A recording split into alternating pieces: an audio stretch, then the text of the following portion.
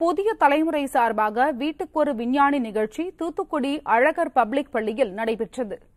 இந்த நிகழ்ச்சியை தூத்துக்குடி மாவட்ட காவல் கண்காணிப்பாளர் எல். பாலாஜி சரவணன் தொடங்கி வைத்தார்.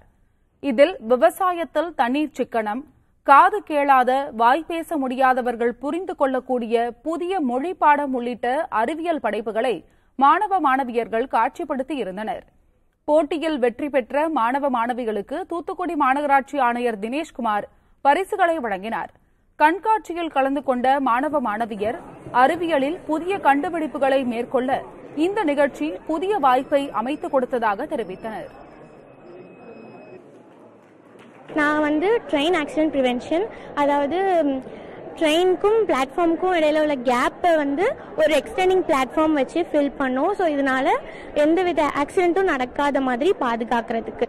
கவர்மெண்ட் இம்ப்ளிமெண்ட் பண்ண மீண்டும் மஞ்சப்பை ஸ்கீம் அதை இனோவேட் பண்ற மாதிரி ஒரு ப்ராஜெக்ட்டும் ரோட் சேஃப்டி அதை இனோவேட் பண்ற மாதிரி ஒரு ப்ராஜெக்ட்டும் பண்ணோம். Keep watching out what is happening in the world of science and technology. புதுசு புதுசா இன்வென்ஷன்ஸ் வருது புதுசு புதுசா கண்டுபிடிக்கிறாங்க. இப்போ உதாரணத்துக்கு ஹிந்துல சயின்ஸ் அண்ட் டெக்னாலஜின்னு ஒரு காலமே இருக்கு. Indian express as an amazing column on science and technology so சயின்ஸ்ல என்ன நடக்குதுன்றது கூகுளில் பாருங்க.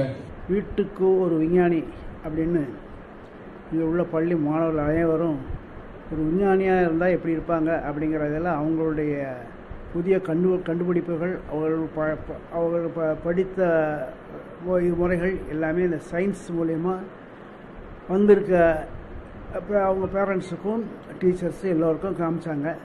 ரொம்ப மனசுக்கு நெகிழ்வாக இருந்தது.